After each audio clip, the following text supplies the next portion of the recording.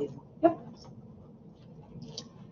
Hi, everybody. It's Karen Harold, and I am going to show you how to create a collaborate session and how you and your students can get into that session for either live um, uh, for either a live session uh, where you might be holding um, regular class hours or office hours, or you can also use that same session to record any lecture that you want to do that you might want to put out on Blackboard so the students can view. So, first thing we're going to do is, one second here.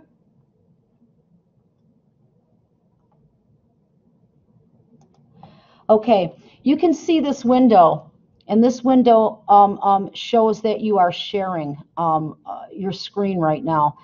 So um, how I'm going to show this to you, it's going to be a little bit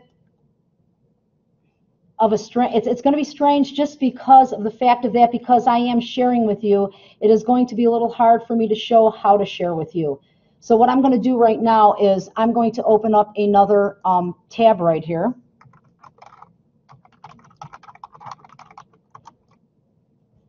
I'm going to log in with a different user.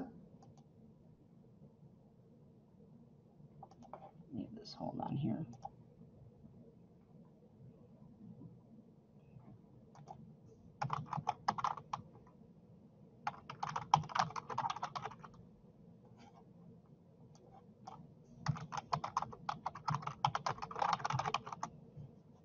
I'm going to get you to a different view so I can show you all of the steps.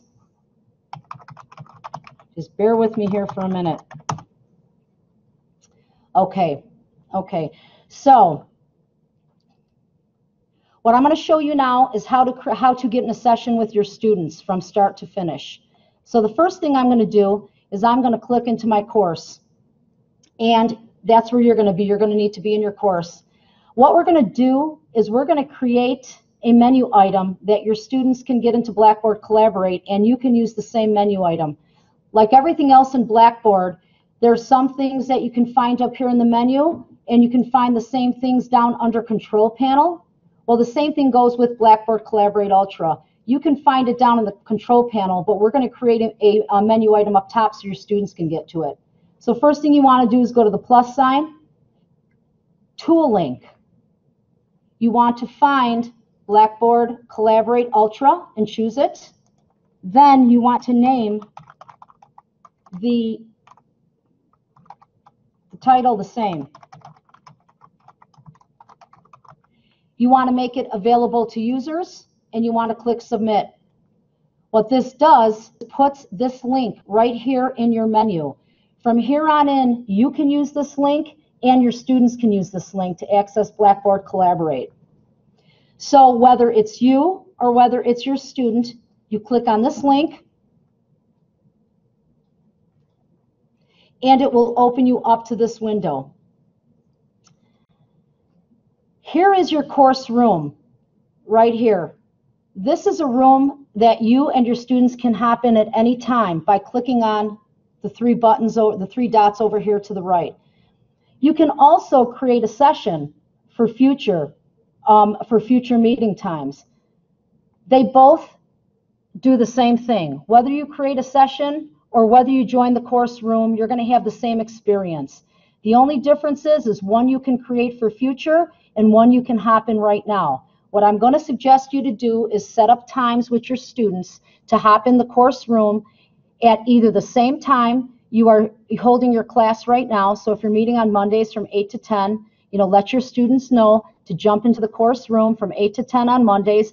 Or if you have to vary that a little because of schedules, that's fine but make it clear to your students when you want them to join the uh, jump into the course room and you can all do that at the same time.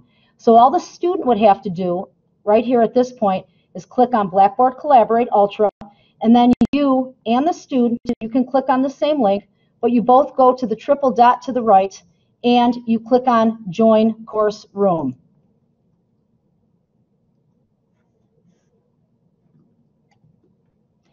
You're going to see right here that it's going to detect your microphone and or your webcam if you are using a webcam with a built-in microphone. There's a lot of options here, which I'm going to go over with you, and I'm going to suggest the easiest option. So for right now, I'm going to, um, I'm not going to allow the webcam. I'm going to turn it off.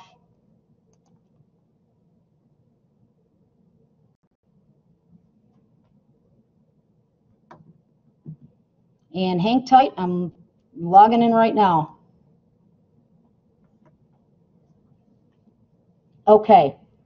A lot of these tutorials pop up. Just knock them off the screen. They're gonna, they will constantly pop up.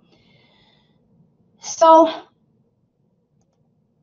what you're going to see now is what happens when you first join the room. You're going to see that it's going to try to auto detect whatever hardware you have. If you have a webcam with a built-in microphone, it will detect that. If you have built-in webcam and microphone in your laptop, it's going to detect that. If you have a headset with a microphone attached plugged in to your USB port, it will detect that too. It's going to detect whatever you're using and you're going to accept it, but that's not what turns your audio and your video on and off. These buttons down here will turn your audio and your video on and off. If I click here, this will turn dark green, which will tell me I'm sharing my audio. If I click here, this will turn dark blue, which shows I'm sharing my video. I'm not clicking on them right now because I have two different sessions going and I don't want to mess up the session that you're hearing me with, so I'm not going to click on them. But this is how you turn it on and off right here. Now, to make it simple, if you don't have a webcam or a microphone, you can come to the menu up here and the students have the same option you can click on use your phone for audio and it gives you a dial-in number with a pin. This number and pin um, is, is for everyone in the course in the, in the room to use and your numbers will always be anonymous. No one will ever be able to see each other's number. So if you're just looking at the bare minimum to be able to connect with your students that they can hear you and that that they can hear you and that you know you can hear them if you're allowing audio, you can use the dial in here with a cell phone. If you dial in with the cell phone, this down here turns into a phone, like an old landline looking phone, like what you see right here. You will see this icon down here instead of the actual microphone. So I guess to make things simple, and as far as not having to deal with too much technology, maybe not worry about the webcam, um, I would suggest if you don't have a headset with a built-in mic on it, um, use your phone dial in. If you want to use the webcam with the built-in uh, mic, feel free. That's what I'm using right now. I just have the video off right now. I have the webcam off. So those are your audio options. And you need to make sure before you start recording your session that this is on. So you are recording audio as well as video. So on this, once again, this menu up here, all this is giving you is your dial-in number and PIN, and here is your start stop recording button. This works as a toggle switch. Clicking it starts it, clicking it stops it. It is not a pause, it is a stop. If you stop your recording, it will automatically start rendering. So don't think you can stop recording and run to the bathroom or get a cup of coffee and come back and turn it on back on because in actuality you will be you will be starting a brand new recording. Um, which also brings uh, up the you know fact that you know you might want to chunk your recordings. You might not want to do an hour long recording. Chunk it into smaller pieces. Maybe do you know six ten minute recordings so your students aren't sitting there watching an hour long recording. Um, but the students can pause. When it comes back, they do have the ability to pause. So um, you don't have the ability to pause, they do when they get the recording. So once again, this menu is your start, stop recording, and your dial-in. That's the left menu. Right side menu here is where all the meat and potatoes are. Um, what you will what you have down here is your chat box, your attendee list, and your share content button. Your first button here is your chat, is what you're chatting right now with all your questions that you're putting through. If you click on everyone, and once again, these tutorials keep popping up, just close them down. When you click on everyone, this is where you will be able to chat with your students. One thing that is really important when you're online is you need to get control of the audio or the conversation in your classroom. So what we're doing right now is first it was Mike, then it was Melissa, then it was myself. We were doing the presentation.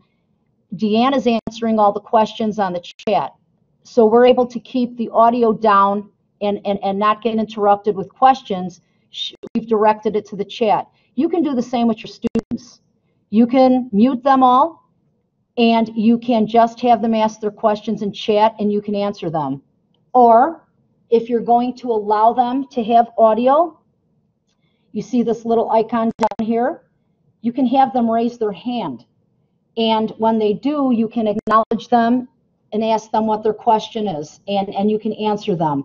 However you want to handle it, but you need to get control. Otherwise, you're going to be hearing noises and doorbells and dogs barking, and everybody's going to be talking at once, and it could get a little crazy. So find what's going to work for you and how you're going to control the audio in your classroom. The second button here, attendees. Here is where you will see a list of your attendees and all the students that are now joining you in your classroom. If you look at the triple button up here, here is where you have the option to mute all. You find that your audio is getting out of control. You can come up here and you can mute, just, just mute everyone's microphone so you get control back of the classroom. Um, once again, it's up here, three buttons next to attendee. The next button I'm going to show you is share content there are a lot of bells and whistles in here and in future we can go through all of them but for right now i think the goal is is for all of you to get on collaborate the simplest way and which is going to be the least frustrating for you and for your students so i'm going to show you the simple way to just um, share your screen you're going to click on share application screen entire screen. Then you're going to have the option to select screen, entire screen. Now this, I'm on Firefox right now. I have to be on Firefox right now because our actual recording that we're doing with you is on Chrome. You will see a different look in Chrome. You will click on Share Application Screen then you will have a box up here that says share entire screen and you will say yes. I'm just alerting you that the look is different between Firefox and Chrome. So for right now, I'm going to select my entire screen and I'm going to say allow.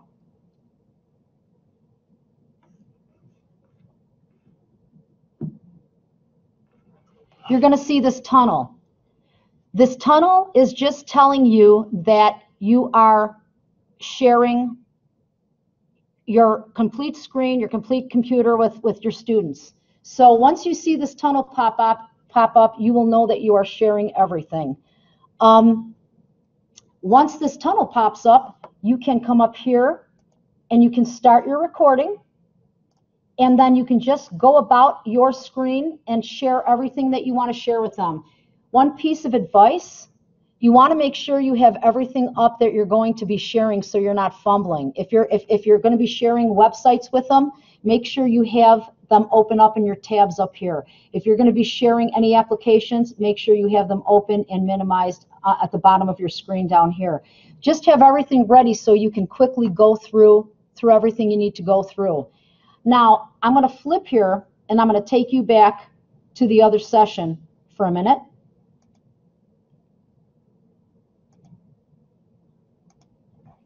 okay? I'm back into the session that you joined, so you can see here what I'm talking about as far as having everything ready to go. I am now showing you the sharing screen. If I wanted to share my PowerPoint with you, I simply open it up. I can start it, and I can stop it. If there's some place on the web that you want to take your students, I can go to um, any website, um, here's Microsoft Office. I mean, here is our Academy website. You can see that I'm maneuvering through my screen just as if I was standing up in front of the class or if I was just going through this at home. I can actually go back into my Blackboard course, just like Melissa was in. Maybe you might want to go over the syllabus and um, syllabus and I just lost you there. Sorry, hold on. It logged me out. Okay. Oh well, that logged me out. Sorry about that. It logged me out. Okay. I'm not going to worry about what? Yeah, timed out. I think I timed out. So you can go through, you can go through any of your tabs or any anything that you have open and you can share that with them. That is the simplest way to do this. Share application screen. You'll get a box here that says click on entire screen. You'll see your tunnel. You'll start your recording and then you'll just go through business as usual. Trying to think here, anything else? There's also a whiteboard. You can share your, pardon? Oh, the download checkbox. Okay. Um, one thing that um, I want to show you, it's going to make me log back in. Okay. Sorry about this, folks. In order to make this work, there's so many windows that I have to have open. I'm getting kicked out of things. Um, okay, one thing that I wanted to show you, if I go back to the Blackboard Collaborate Ultra link, before you enter your classroom, there is an option here that allows you under settings, the three dots under edit settings, there is an option here, hold on, I'm getting there, that allows you to, record, to um, download your recordings right here. I suggest that you go into your settings before you enter your classroom and you check that. That gives you the ability to take these recordings out of Collaborate if you ever need to use them again. You might want to download them and use them, put them up to YouTube for a reason. You might want to download them and um, uh, you know use them elsewhere. But if you don't check this, um, the only way to get these out of Collaborate would be to copy the link. But this allows you to download the whole recording. So I just want you to be aware that that's there.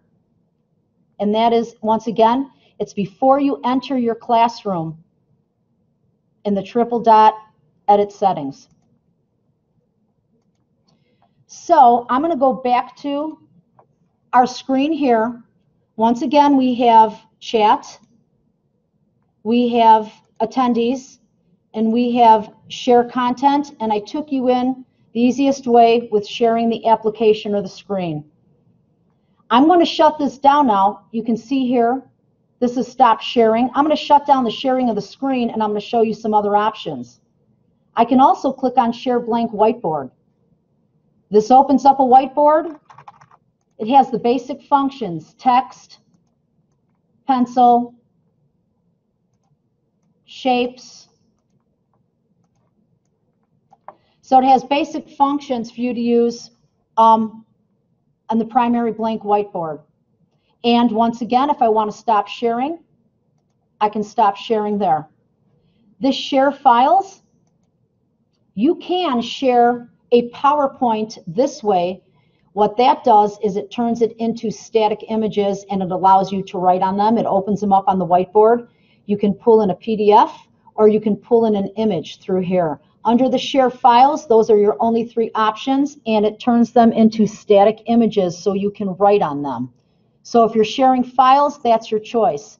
I'm suggesting, because we're trying to get to the simplest, easiest way here for you to feel comfortable, opening everything up you need to share and going through share application screen, clicking on your screen, clicking share, and now everything is available that's on your computer. You can use whatever you want in here, but uh, as far as I'm concerned, that's the simplest way to get this done right now with the little bit amount of time that we have. Um, I'm just trying to think here. Can you guys think of anything else? I'm just talking to my uh, colleagues, Melissa and Deanne. Maybe if you can repeat the steps to get in one more time. The steps to get in one more time. Just to start, Okay, quick, like a quick start, like I want to do it now, I want to join the room, if you could just. okay. And just so you all know, I put together like a two and a half minute video that is out on our Academy website that will show you, it just shows you exactly how to get into, um, how to get into uh, Collaborate. And exactly what I'm showing you now, okay? I'm gonna, we do have a video out there on the website. Um, so what you're gonna do, let's start from scratch, is you're creating a link in your menu so you and the students can get to your virtual room. You click on this link, this will get you to this window. You and your students just have to go to the three dots and click on join room. And once you're in the room, once you join the room, I can't click on that because I'm already in there. Once you click on it, you will go to here. And I'm going to shut down the sharing again. You will go to here and you're going to just have a blank screen. You then have to go to your share button here to decide what you're going to share. I'm suggesting click on the screen option, click the box, click the share. You are now sharing everything on your computer. The only thing you have left to do here is start and stop your record, start your recording if you want to record, and then it's business as usual, going through your computer and going through your tabs and your applications. Can you show where they would find recording? Yes, I'm getting there right now. So once you've done this and you've you've made it now, and, and also let me let me show you one other thing. If you just want to come in here to record and you don't want students in here, you're going to have to lock the room because students can pop into here anytime they want, and they you don't want them you don't want them popping in um, when you're recording. So when you record lecture, it's the same as what I'm doing right now, but the only extra step you have to do, you see here that I am in the Blackboard Collaborate tab. Blackboard Collaborate always opens in an external in another tab, so you can go back to your Blackboard shell if you need to. Here's the Collaborate, here's the shell. So if I start the session and I don't want any students hopping in here, but I want to do lecture capture, I want to go back to my shell and I can't click here because I don't want to lock anybody out right now. But if you click right here where it says unlocked, it will then lock the room. So your room will be locked and no students will be able to hop in there. You have to remember that this room, this course room right here, is open all the time. And, and so students can hop in. They can even hop in and use it on their own if they want. So if you want to record, you're going to get to this spot here where you're ready to record, and you're going to go back to your tab and you're going to double click on the word unlocked and it's going to change it to locked. Now, when you're done recording, you need to make sure that you unlock this so your students can get in here if they need to use it. So that's how you, that, that would be the difference between synchronous, you know, and asynchronous, whether you're live or whether you're recording. I'm just suggesting you lock the room when you record and there's no students in there. Okay, so now I'm going to show you where to find the recordings. This menu right here. This gives you the toggle between sessions and recordings. We are in sessions right now. I'm going to toggle to recordings. Here is where you will find all of your recordings. Here is where your students will find all of your recordings. Um, these are all recordings that I made that are now on, on uh, the website on, for, for the fact that we're locked down for the next how many weeks. Um, if you look at all of these recordings, they also have options. There's menu options here, okay? If I look over here and I click on the triple button, you can see that now, now the students have this as well, but they don't have, once again, they don't have all these options. They just have the watch now. That's all they have. So you have the option here to watch it now. You have the option here to download it, and you can see when I when I made you select that checkbox to download it to get it offline, I can click on download and it will turn it into right down here. You can see it's an MP4. If I open it in the folder, there is my collaborate recording. It is now it took all of three seconds to download. You now have the MP4 externally so you can use it again. You have the option to edit the name. Okay, this is what you're editing right here. This half always keeps your course name so you know what course it came from. So this will always pull your course name. If it's SOC 101, 001, or whatever, it will keep it. This is what you are editing. The other half on the other side of the slash, so you can name your recording. You have a uh, obviously option to delete it. Then a real nice option is you have an option to copy the link. So if you create this and you want to share it in all four sections, you can take this link. If I click copy, it puts it right on the clipboard. Now, just pretend I'm going into another section of your course. I'm going to go into my learning modules. Just pretend I'm in week one.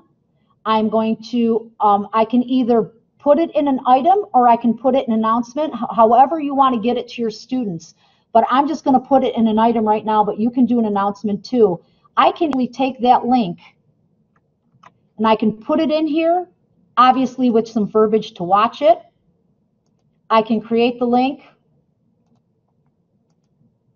I want to open it in a new window.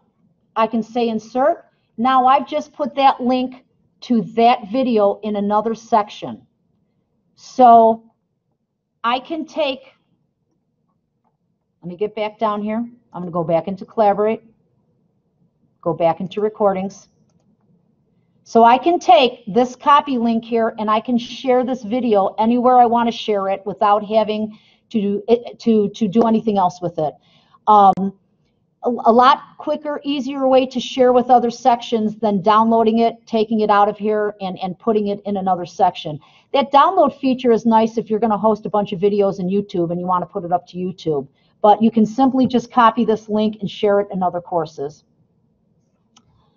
Um, trying to think what else. Can you ladies think of anything else I should have to cover on here? I guess now would be the time. De Deanne is, is monitoring questions. Um, I know we covered a lot here today. Um, we're just as frantic as you are trying to get all of these materials out and trying to get all of this done and shared with you.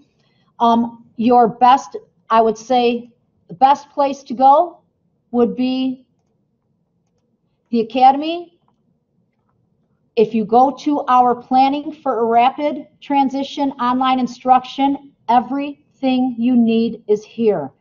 There's BB Tech support. Here's online instruction support form. There is all kinds of, we've been putting together videos and um, white papers. Right here, here's the live lecture synchronous. Everything we covered today is in here.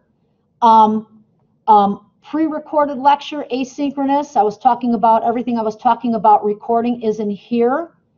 I know it's a lot. I know you're feeling overwhelmed, and um, but there's a lot of there's a wealth of information here on our academy site, and I, I encourage you to go here and look at it. Um, be assured too that we are all going to be online like 12 hours a day for the rest of our natural lives until we um until we come back here to school all 11 of us in the academy and we will be fielding forms. We will be fielding questions. We will even call you if you want us to call. There's there's an option. I'm going to pull up the support form. Here's the support form. You know, um, if, if you want to put your phone number on here, we will call you, but here is the form that you will, you know, if you're having issues, submit it. And we will get back to you that day. Within 24 hours. We are, we will all be working online and we'll get back to you um, just to keep you afloat. So um, right now, unless you have any other questions, I think that's about it. But if you have any questions, please put them in the chat box for Deanne so she can tell me what you want me to answer. I just want to make sure we're here tomorrow. Yes, we are here tomorrow. We are doing a, we just added a morning face-to-face collaborate session. I believe it's 9 to 11. Same thing we all just ran through. Right, but is it 9 to 11, I believe? I believe. Everything we just ran through, I will be doing face-to-face. Melissa will be here doing testing. 11 and one to Yes, 1 to 3 is virtual though, right? Or is it not? Or is it face-to-face? Okay, we have two face-to-face sessions tomorrow going through exactly what we just did tonight, starting with Mike, ending with me. Um, 9 to 11 and 1 to 3? 1 to 3. Everybody has to be out of here by 4:30 tomorrow, so tomorrow will be our last day here. But please feel free to come in and, uh, to either one of the sessions from 9 to 11 or 1 to 3, and we will go through this face-to-face again. Any other questions, Dee? No, I think we're okay. Okay, um, well, thank you all for coming. Um, like I said, um, uh, be assured we're here to help you and, um, fill out the form if you need any further help and we will get back to you. Uh, stay safe and I hope you all have a good evening.